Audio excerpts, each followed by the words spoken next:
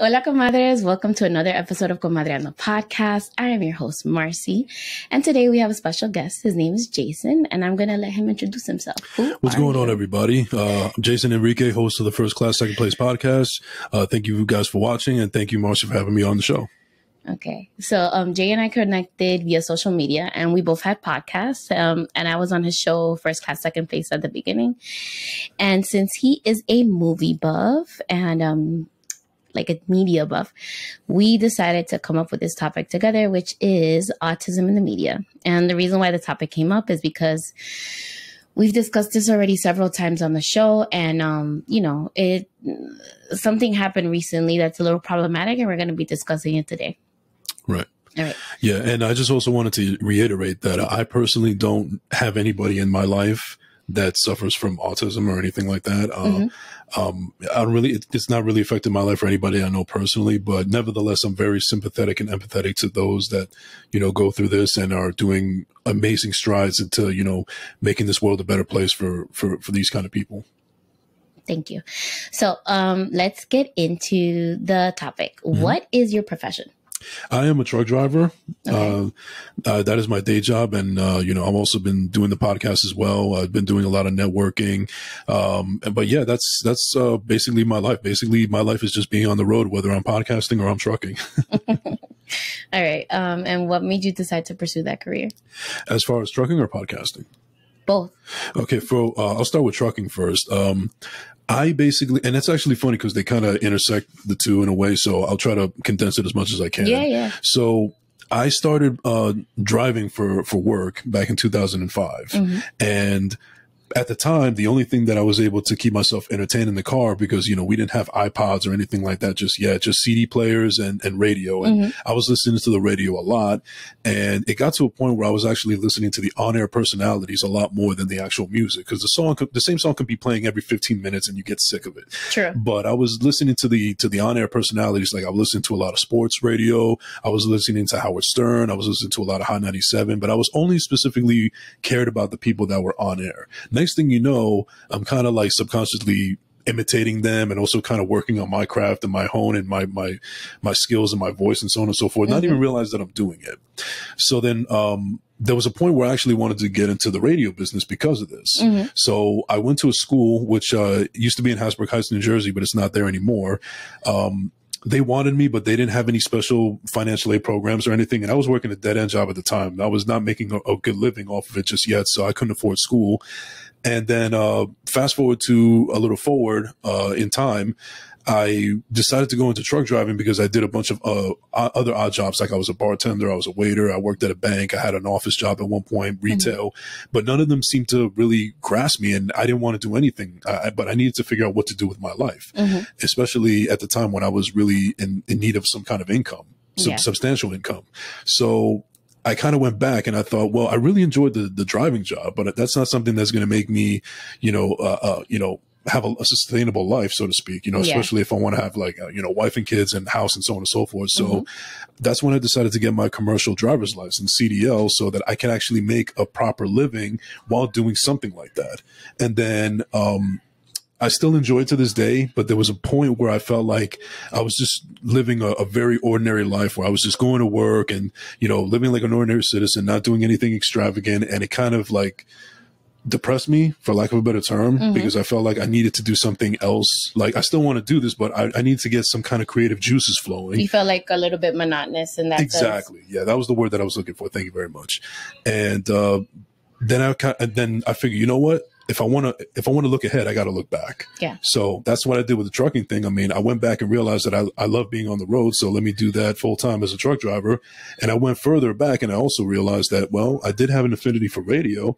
And that's something that really, you know, grabbed my attention as far as creative uh, creativity goes. Mm-hmm. So uh, now we live in a time where podcast is the new wave, and I I actually prefer podcasts as opposed to being in mainstream media because it's your own creative freedom. You can do it however you want without the personal politics getting in the way. Yeah. And the radio business is a dying industry anyway, so this is you know I'm better off doing this, and uh, I'm glad that I'm on this trajectory of life. Uh, you know, I'm much happier, I'm much more at peace with my mental and everything, and uh, all the accolades and all the, the, the acclaim that I've been getting from the podcast has been very overwhelming, especially since it hasn't even been a year yet. Yeah. So I'm, I'm really excited about what's to come in the future. And, you know, one of the best parts about it is that I've been able to meet so many great uh, content creators and uh, podcasters, such as the one to my, my right right now. All right. So, um, what? Okay, you already said what made you start the podcast, but Right. Tell the audience about it. Like, why did you name it First Class Second Place?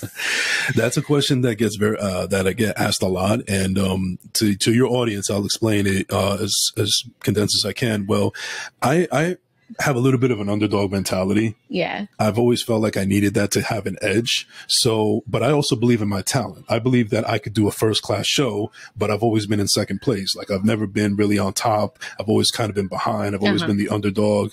Uh, so I kind of wanted to just mesh the two and, you know, create a title that has something to do uh, uh, along that ilk. So that's why I believe I could do a first class show, but you want to keep me in second place. Okay. All right. I am not opposed to that. So, um, you said it hasn't even been a year. So, when's your anniversary for your podcast? This is funny because my anniversary for the podcast is September 30th, and I didn't even know this. Ah, The day that I released it on September 30th, I found out after the fact, after I published it, that it was National Podcast Day. ah, I didn't even know that. So that that's at that time I figured, you know what? I'm going to take this as a sign that maybe this is what I'm supposed to be doing after all. True. Yeah, but yeah, just so anybody else that is not aware, September 30th, National Podcast Day. And that'll I be the one know. year anniversary of my show. Um, I released like one approximately a month after you. So we started October 27th. That's when Okay. we aired for the first time. All right.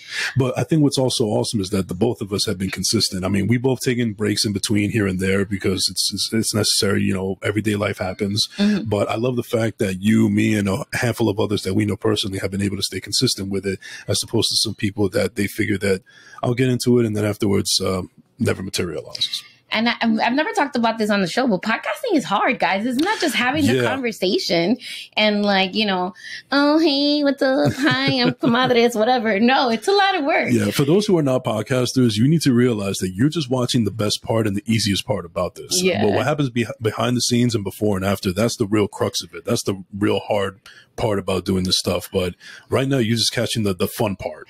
And we love what we do though. So like, yeah, absolutely. I honestly can spend hours editing an episode or putting together material or like, you know, putting together social media posts or reels or whatever. And that I can spend hours doing. Like, I don't mind that at all. Right. And I think that's a testament as to why we enjoy doing it. Because if we weren't willing to go through all of that work, all that, you know, that grime stuff, then we wouldn't, that we, we didn't have passion for it. Mhm. You know, the fact that we're actually willing to put the time and the energy into it shows that we really truly love it. Yeah. So let's get into the topic. We're going to talk about autism in the media and Mhm. the portrayal of autistic individuals. Um, what are your f- thoughts regarding the portrayal of autistic people in movies in general? We can pick one movie. Let's start with Rain Man because that's like the most famous one. That's arguably the most popular uh, character of uh, of all time in Hollywood that deals with autism. Okay, so can we give like a like a synopsis of the movie for the comadres for the people that haven't seen it because we don't know, Absolutely, yeah. you know. All right, so uh, um, I haven't seen the movie in quite some time, but what I do remember from it is that uh, the the main characters are played by Tom Cruise and Dustin Hoffman, who plays uh, Raymond, who is the autistic character, and they're brothers. I think I think they were estranged brothers, like they haven't seen each other in a while because Tom Cruise was just doing his own thing or whatever, and Dustin Hoffman's character was in a, a facility, you know, being taken care of, and um, I think it had something to do with an inheritance. Uh, I don't know exactly, but basically, Tom Cruise's character had to be involved in some way, shape, or form uh, to be there for his brother. And long story short, towards the end, he realizes that they've become a, a much bigger, stronger bond than they any of them thought that it would be. And uh, it's actually a very nice story, and it has a nice, you know, a little bit of an emotional ending. But um, what I what I think what's what's what's famous about that film more than anything is uh, Dustin Hoffman's portrayal of Raymond, who uh, is a person who is autistic, and he was he, Dustin Hoffman is a very dedicated actor, and he really did a lot of research into doing the role, and it, it happened to pay off for him because he won an Academy Award for his Mhm. performance, and that would be arguably his most popular performance that he's ever done in his career. And the interesting thing is that that movie was made in the in the late 80s not only did it win uh, dustin hoffman the academy award but actually won best picture of that year Mm. so it was it was not a negative portrayal of autism at all if if anybody seen knows that dustin hoffman really did his research and his homework and he you know did the the character respect respectfully however if this was a movie that was brought now if it wasn't made back then and it was brought to you know hollywood steps right now then because of the world that we live in it uh, it'd only be, be right and perceived better that it's actually portrayed by somebody who actually does have autism. Yeah.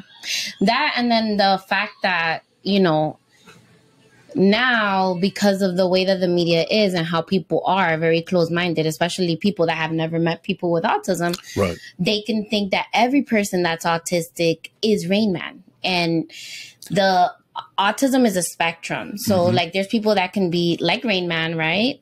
But they can be people that are like nonverbal and have like a lot of difficulty in society. Right. So, you know, what my thing is with the media, the biggest, my biggest gripe is that there's not that much representation for everybody on the spectrum, you know?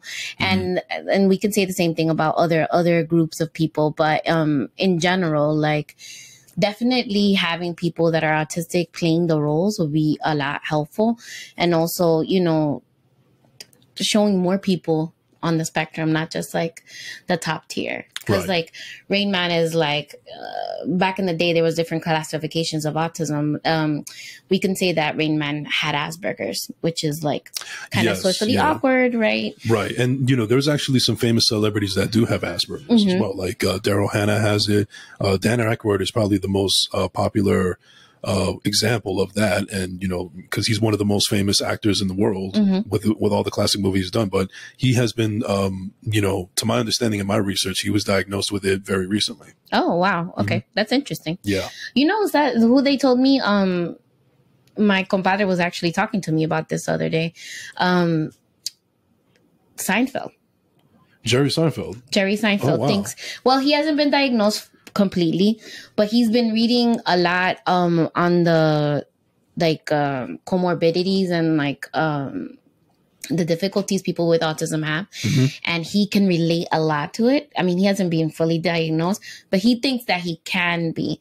But and then looking at the way that he is and the trouble i mean because the show is based on his life a little bit right and and Larry David, the co-creator, who I you could actually make the argument that maybe he has a little bit of that as well because he's a socially awkward guy, even though he's re- hilarious. yeah so the the whole thing is that um they have issues with especially like the um the guest i had before um the person that she talks about love on the spectrum Mhm. she had a lot of issues in life in general like her entire life until she was diagnosed with autism. And then she like everybody would always tell her like oh my god you're so rude. You're um this you're that. And they would like label her like quote unquote crazy or like she's a bitch you know? And um you know a lot of the people that are undiagnosed they use a lot of masking to be able to pass Mm. you know to be able to be accepted by society so um there might be more so we don't know but definitely rain man is one of those um up there what was another movie that that we saw somebody with autism portrayed Um, I can't really think of off the top of my head of um, but I know that uh, not too long ago, um, we had that movie. Uh, I think it was called Music, that was directed by Sia, mm. Which is a very controversial film. Unfortunately, I haven't seen it personally. I just heard the the re- the kind of reputation that it has. so sia directed the movie um she didn't cast anybody with autism on the on the movie Mhm. um the movie was paid by autism speaks which the biggest thing with the biggest gripe in the autism community against autism speaks is that they are all run by people that are not autistic and their point is to eradicate autism Mm, so they're not letting the kids be themselves or the people with autism be themselves. They want to get rid of autism altogether. So, um, you know, it's not really uh, an organization to uplift and help and like, you know, shine a positive light on people with autism. It's more like you, there's something wrong with you guys. You need to, um, you know, acclimate yourself to society and all of that, which is um, really heartbreaking because the thing is, Autism Speaks is like one of the biggest national organizations, right? Right. And they're in the media all the time and they do all kinds of events. And you would think that they're um, dedicating that money to help people with autism, but they're not. Right. And you know what's interesting is that uh, I, I know somebody who's a friend of mine who's actually coming on the show uh, not, uh, in a little bit uh, next month. Um, she has a brother that's autistic. Mm-hmm. And I remember in a, uh, like, I would say maybe five, six years ago, they used to do these events, uh, for Autism Speaks. Mm. And I think that if I'm not mistaken, there was like, she had a tattoo of it on like one, on like her like ankle or something like Mhm. that. But, you know, I guess the perception of it has changed now. And that's something that I'm really interested in talking about or see how it goes. And I've seen her with her brother Mhm. and she treats him no different than any other human being. She's absolutely, she, abs- she absolutely adores him. He's the sweetest kid in the world. I've actually had a chance to meet him a couple of times. Mhm. And with, with a little few instances here and there, you would never think that he was autistic. The thing is with autism, it's not that it's not that people are so different. Autistic people are just like you and me. They just have different um connections. So like the way that their brain works, they do the same things that we do. It's just that they do it in a different way. So like we'll figure out how to do something, but then they'll think about it in a different way and solve it that way.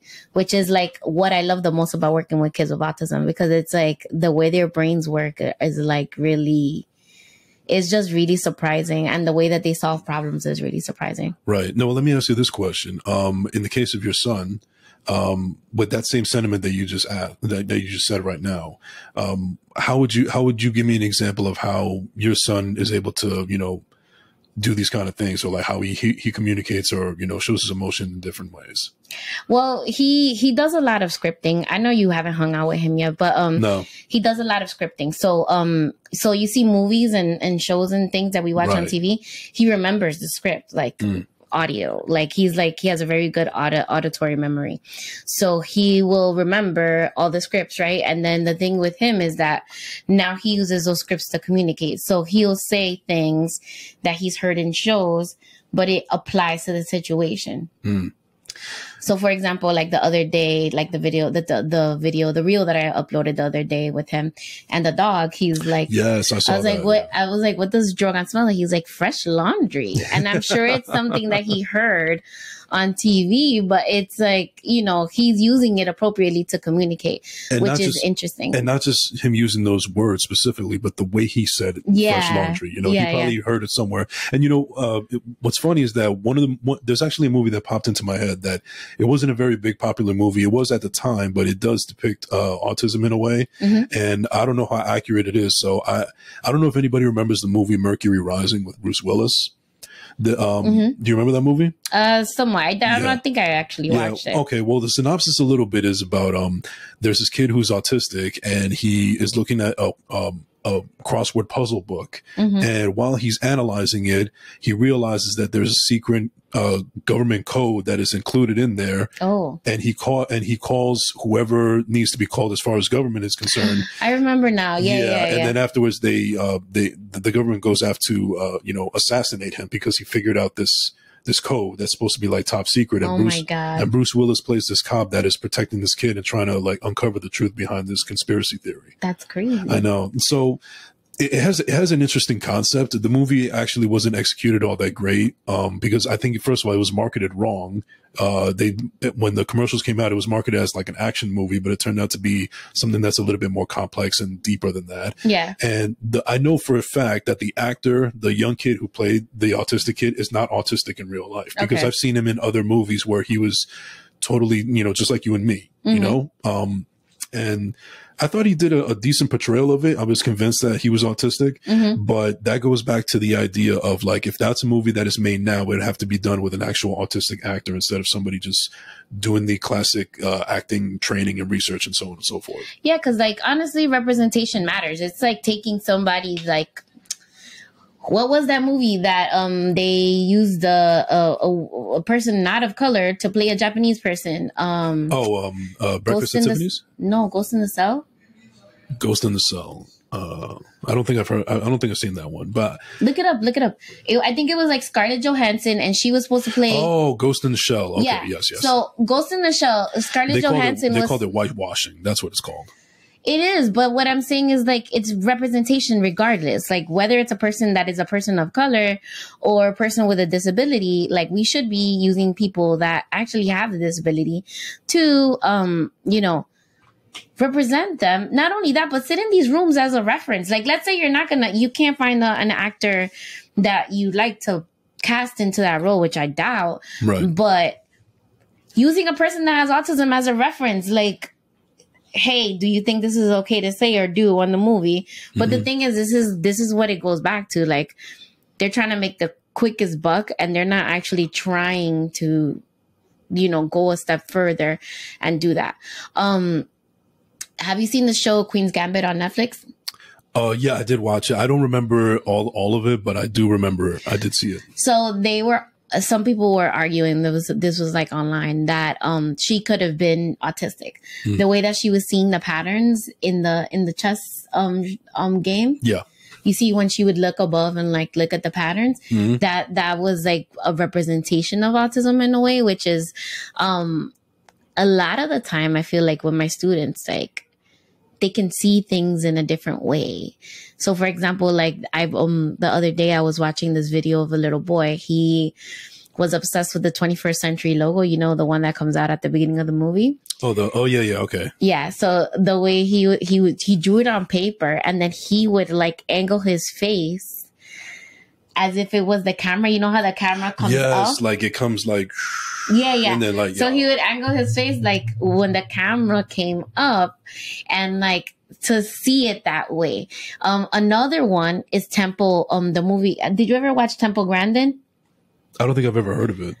Okay, so Temple Grandin is one of like the most significant um, movies uh, about somebody with autism for me because um, I actually watched it as soon as it came out on HBO. Mm-hmm. Um, but of course, they did not have a person that was autistic um, portraying it, but they did have Temple Grandin, which is the person who the movie's about, as a consultant in the movie. Mm. So Claire Danes did a really great job portraying somebody with autism. And um, I don't feel like that portrayal of her was offensive, obviously, because like Temple Grandin was okay with it. But um, let me just give you a synopsis. So Temple Grandin was diagnosed with autism. She was a female diagnosed with autism, which is rare. Right. In like the 50s, I want to say. And um, she back in the day, you know, they didn't, they said, they basically told her mom she was never going to talk. So the mom, mom put her in, uh, she like started working with her directly and she was able to talk eventually. So Temple, um, really got interested in cows. So she ended up studying bovine science and she became a doctor of bovine science. So she was able to develop um, these machines to um, to be more gentle with the cows mm-hmm. so that when they go off to the slaughterhouse, they're not like scared. Um, so she, the way that she was looking at it, like she was able to visualize what the cows were seeing. And then you would see how like she would look through a little crack. And I love how that movie like shows what she was seeing when mm. she was mm. like looking through the little crack. So it was like, it was giving a lot of, um, the point of view was very rich to me because it, it was like giving you a glimpse of what she was thinking and feeling at the time. Wow. Yeah. Yeah. Um, I actually do remember that there was another movie back in 1999. Uh, it was with the actress Elizabeth Shue and she played a, an autistic, uh, character named Molly. Um, what movie was that? I, I, didn't see it. I was just kind of, I just, just stumbled upon it during my research mm-hmm. of, you know, uh, before we got into this topic. And I don't remember off the top of my head of what the last line of the movie was said, but at the time it was considered as something like inspirational, like, you know, like somebody that's trying to bully this character. Um, but she's, you know, coming out on top. But now when you look back on it, when the, the, the last line that this character says, and I don't remember it off the top of my head, I can't even look it up right now but if uh, if you were to go back and see it, it's actually like very damning. Like it, it's almost like it's almost like they say something along the lines where like it's okay for them to be R word or something like that. It, it was like terrible. And you know, to my understanding, it was not a good movie anyway. It got horrible reviews and Oh everything. so So I in the show, yeah, I already told you, but I hate that word. Like, Right. like it makes me like cringe in my stomach. It's it's really upsetting. And um, I mean, we grew up saying the word. You know what I'm saying? Like yeah, yeah, we as kids, like it was like normal for us. But like you know, as we get older, and which is another thing I want to go back to the point, which is you know as time and and society evolves we need to evolve also in the way that we're casting people and that we are depicting people with autism Right. And this also goes to show, and you know, uh, that sometimes uh, people, regular people in society, they're the ones that are, are, they're the ones that are responsible for ruining things. Like, if you really think about it, the R word that we don't, won't discuss here, that's actually technically a medical term. But then people, everyday people, you know, insensitive people decided to use it in other insensitive ways. as an and now, insult as an insult. And now we're the only people, we're the only species, it seems like, in this planet that could take an actual medical term and make it derogatory. Mhm. That's how that's how messed up society can be, yeah in my opinion. um did you ever get to watch uh love on the spectrum No, I did not. so love on the spectrum is one of my favorite shows um it casts It's a show or a movie. it's a show on Okay. netflix By the way, uh, not to cut you off, but I, I just, it's funny how like in this day and age of progression, we're starting to finally learn terms and words. Like I had no idea that on the spectrum was actually a term to describe autistic people. I Yeah. just, I just recently found out about it. And, you know, I'm, I'm a little late to the party. I'm sorry, but at least, um, at least I, I'm, I'm, I'm proud to say that I live in a world where I'm actually still able to learn about this every day. And this is not something that ultimately affects my life, but I'm learning more and more about it. I'm, become, I'm becoming more knowledgeable on the subject. And I think it's a great thing. Yeah, so uh, well, I didn't really know anything about autism growing up, really, because like that wasn't a diagnosis that was like widely known.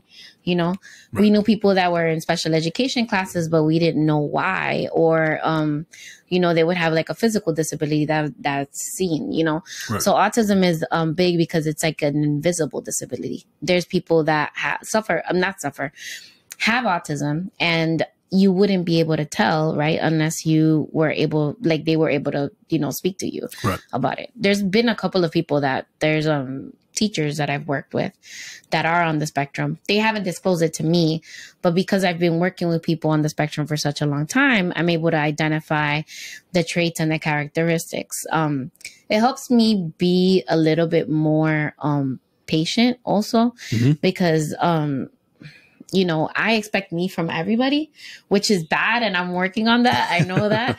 You're only human at the end of the day. I know, but like, you know, I, I would find myself getting annoyed sometimes at certain people, and I'm just like, why am I, why is it bothering me? And then, like, I'm sitting down and reflecting, and I'm like, oh, they're persistent because this, or they're doing this because of this. And they might be, you know, a person with a disability, right? right. And the whole thing is with me is that we have all these children that have special needs, right? They grow up to be adults Yeah. and they're in society all the time. So, you know, acting with kindness is like one of my biggest things.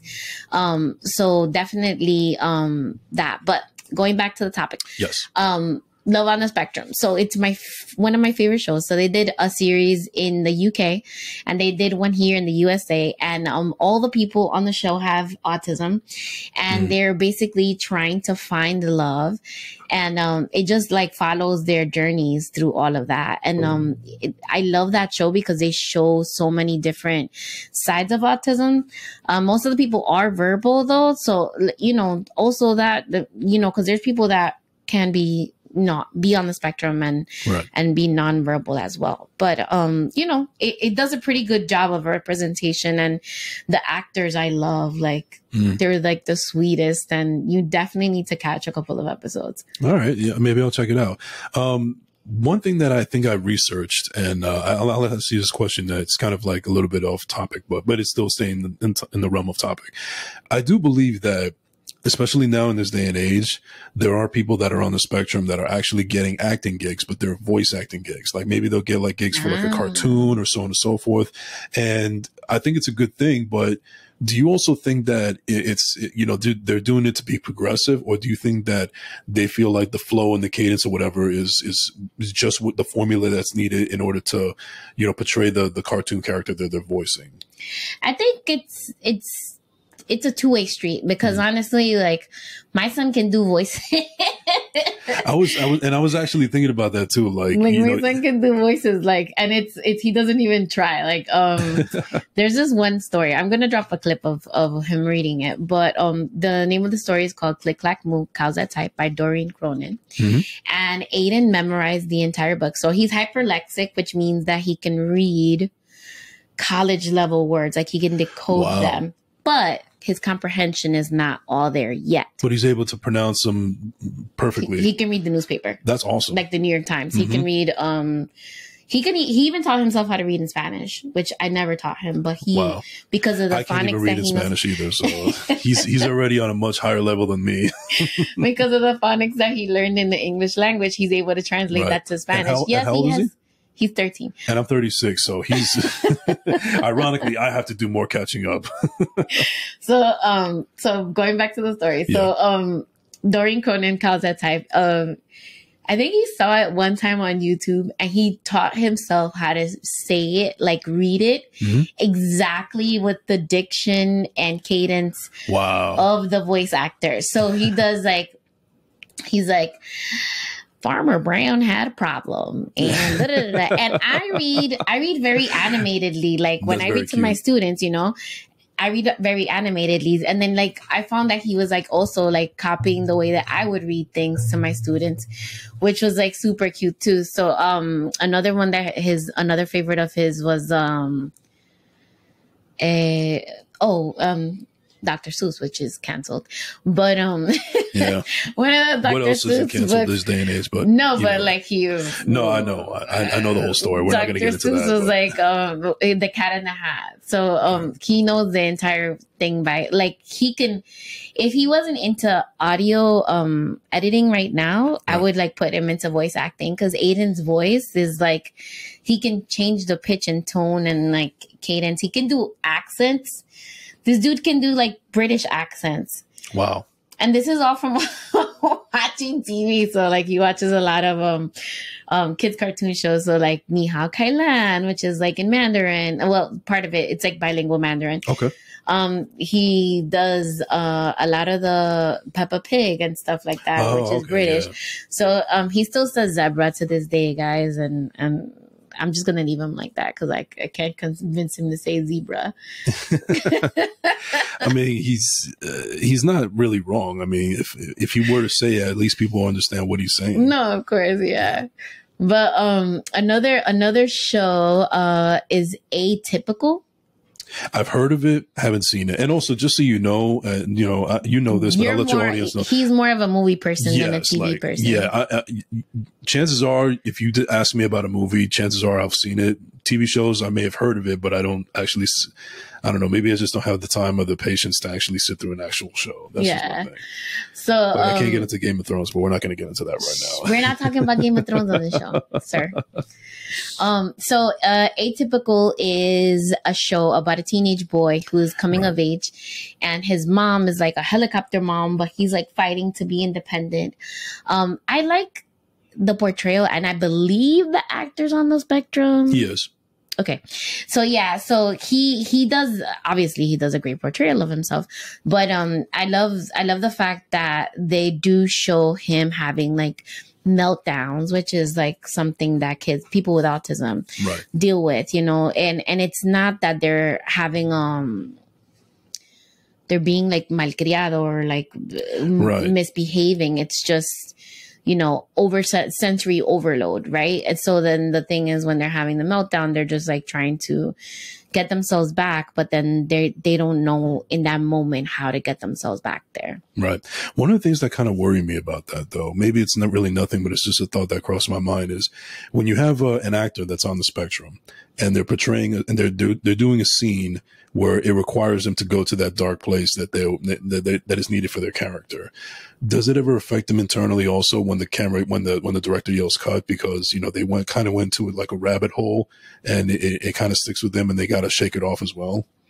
Um, I feel like the the actors that are that are doing the the shows they have coping mechanisms. So the thing okay. with the the meltdowns, you can if you know your triggers, you can get yourself back to zero. you know, Okay.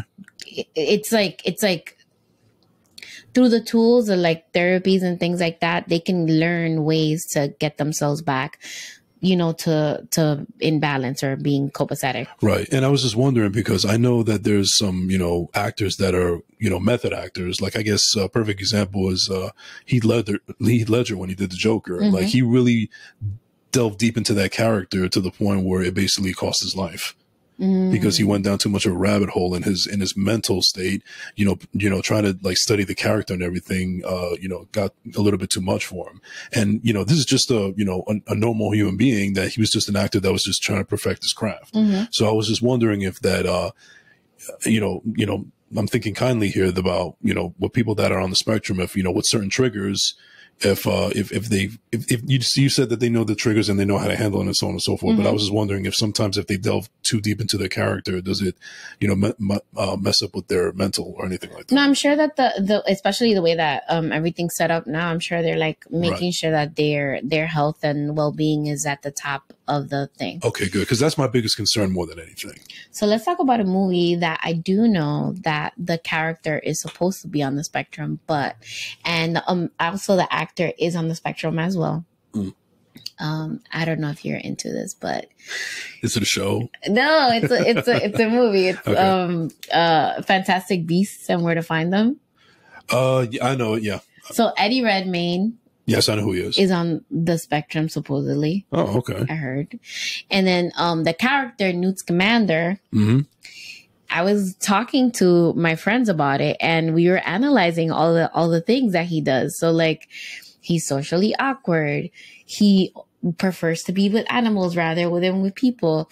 He's um, what is it? He like when he goes into like these little niches like he it's hard for him to like get out and i'm just like looking at him i'm like hmm he could be autistic so i started looking on um what is the what is the forum that everybody talks a lot about like different technical things oh my god Um, I don't know. I'm drawing a blank right now. Anyway. so anyway so uh, people like post reddit. I was looking on Oh, reddit and they were okay, saying that yeah that he he's definitely an actor that seems that he could like not an actor but the character of Newt Scamander is definitely somebody that could be on the spectrum. Oh, so the i think that's fan theory because i don't think that jk rowling has actually confirmed that as of yet. Mhm. but um i i i mean I'm really the fact that eddie redmayne is might be on the spectrum and then the fact that the character is on the spectrum as well is like i love that because it's like you it know brings authenticity to the character for sure. yeah and and i don't know i just love i love the way that he portrayed him and it was very like soft and it's not like uh It's not it- over the top. it's not over the top and it's not um ca- it's not a caricature of a person There with go, yeah. autism so i love that too um have you feel wait okay so based on because we we've gone from the 80s all the way to like now Mhm. do you feel that the portrayal and depiction has changed over the years of people with autism I absolutely think so, and and and for the better and for the positive as well. Because you know, aside from the fact that nobody wants to get canceled in this day and age, but I think more so than anything, which is actually the best part, is that they're actually more understanding. They're more understanding that this, like, is remember how I said earlier that I didn't realize uh, what the term on the spectrum was until not too long ago. Mhm.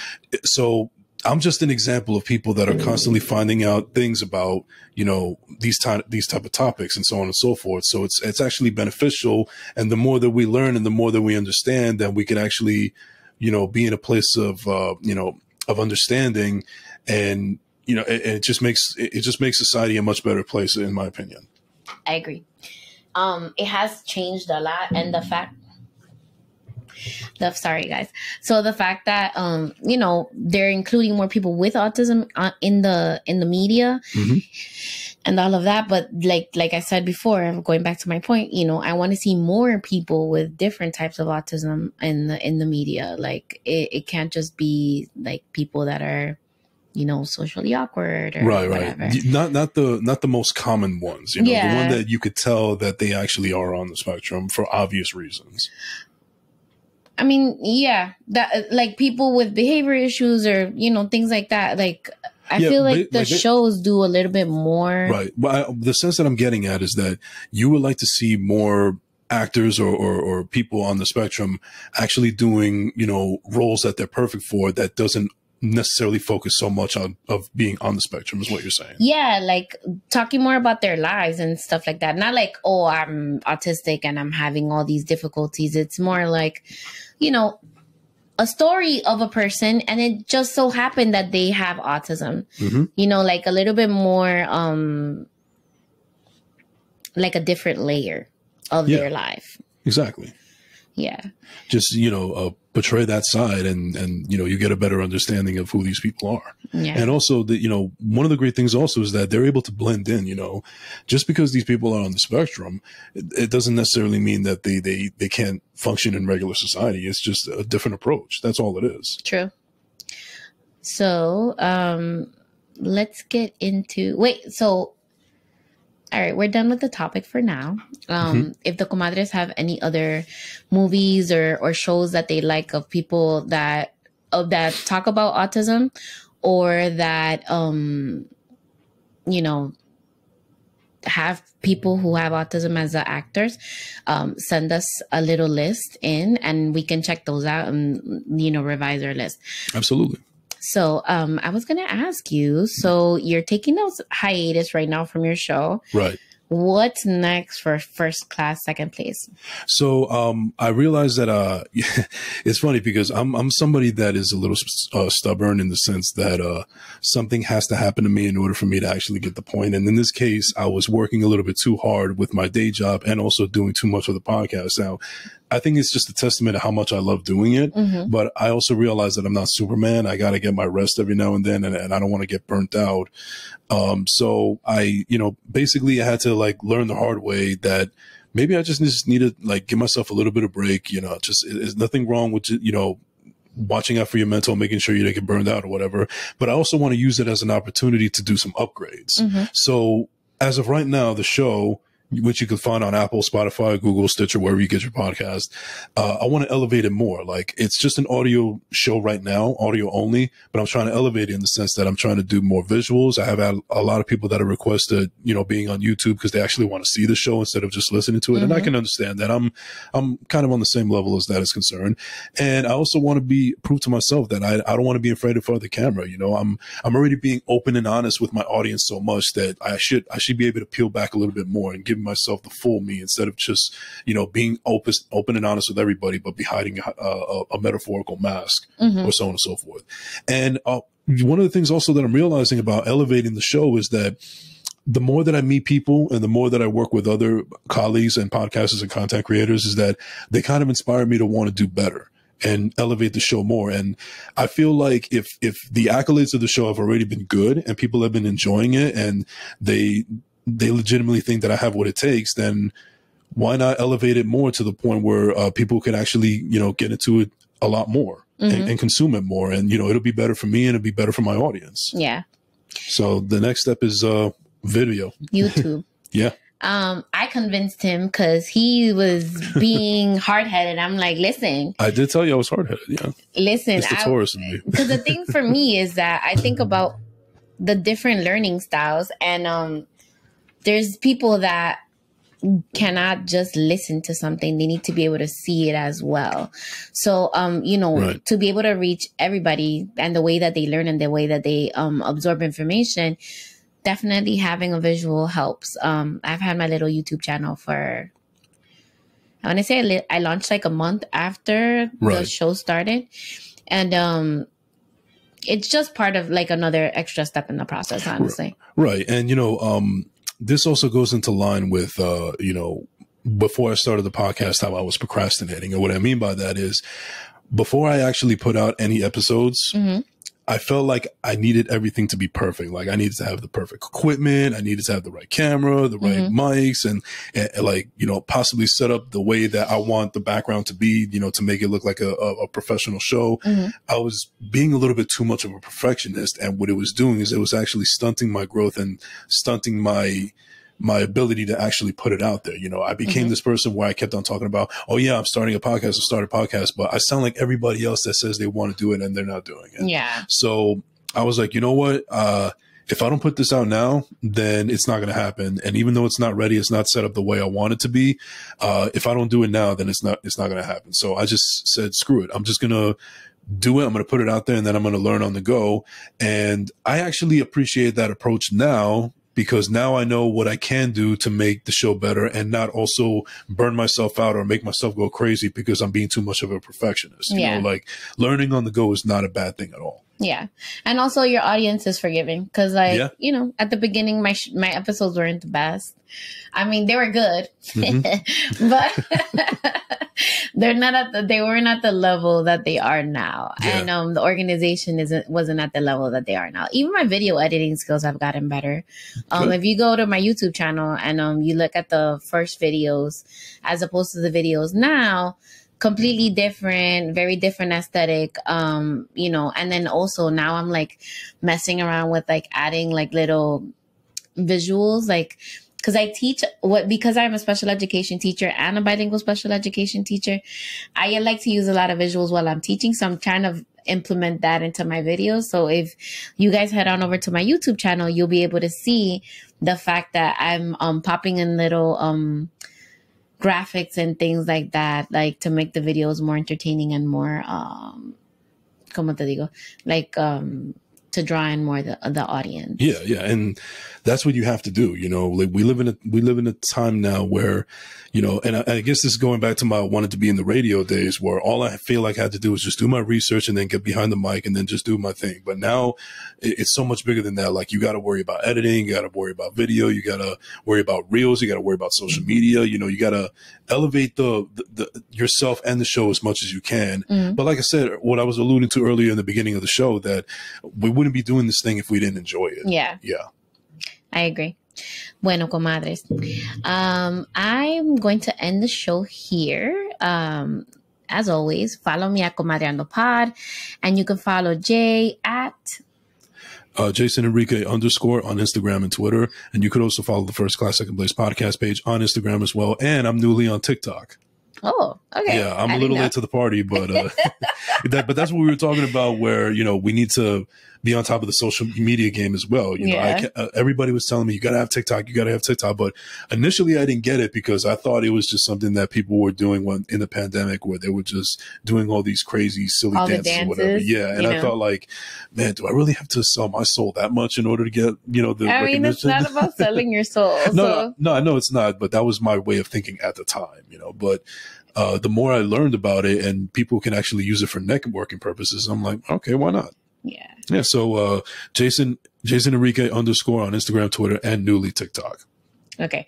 And then you know you can follow me, Comadreando Pod, everywhere. Mhm. Twitter, TikTok, Instagram, Facebook group, Facebook page. Right. Um uh if you have any questions, please feel free to send me a comadregram at marcy at comadreandopod.com or slide up into my DMs. it works. Um, thank you for spending time with your comadre and your compadre. Thank you very much. Bye. Appreciate it.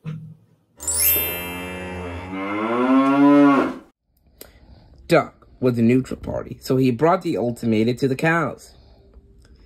The cows had held an emergency meeting. All the animals gathered around the barn to snoop, but none of them could understand moo. All night long, Farmer Brown waited for an answer. Duck knocked on the door early the next morning. He handed Farmer Brown a note. Dear Farmer Brown, we will exchange our typewriter for electric blankets. Leave them outside the barn door and we will send Duck over with the typewriter. Sincerely, the cows. Nice reading. thank you.